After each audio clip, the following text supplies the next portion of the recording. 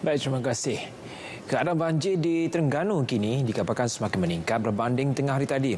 Dan untuk butiran lanjut kita bersama Azrul Faizal Juso di Kemaman Terengganu. Silakan Azrul. Nazri. Azri. Silakan Azrul.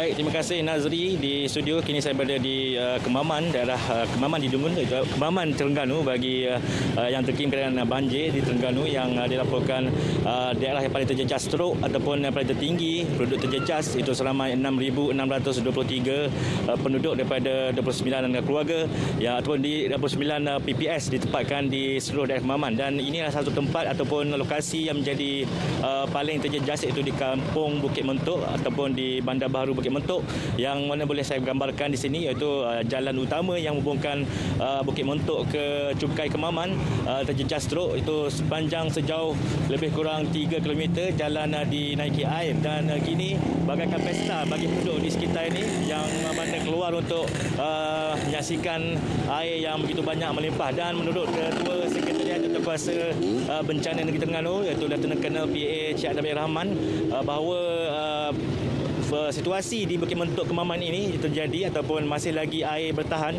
ini kerana air di seluruh daerah ataupun melibatkan daripada daerah uh, hulu Kemaman yang ketika ini berkumpul di uh, bahagian di Bukit Mentuk Kemaman ini. Itu yang menyebabkan air masih lagi berada ataupun masih lagi kekal di uh, sekitar uh, perumahan ataupun uh, kampung di sini. Dan ini merupakan salah satu tempat yang uh, paling terjejas bagi daerah Kemaman. Apapun yang pasti untuk uh, situasi terkini cuaca di uh, Kemaman boleh katakan uh, masih lagi mendung dan hujan sekejap-sekejap lenyai.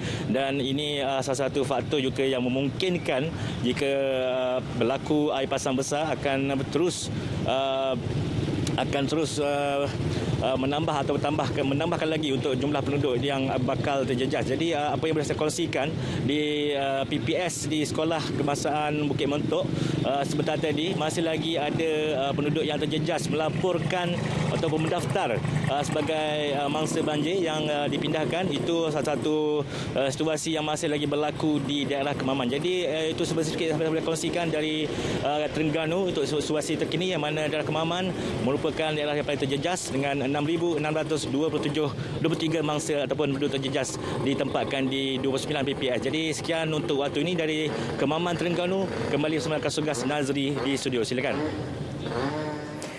Baik, terima kasih Azron. Berita boleh